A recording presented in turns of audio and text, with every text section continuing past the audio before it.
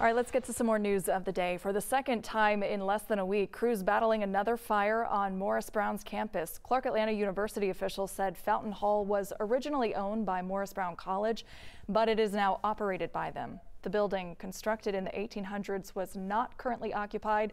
On Thursday, a large fire broke out at Gaines Hall. Firefighters spent hours battling those flames that caused a partial collapse.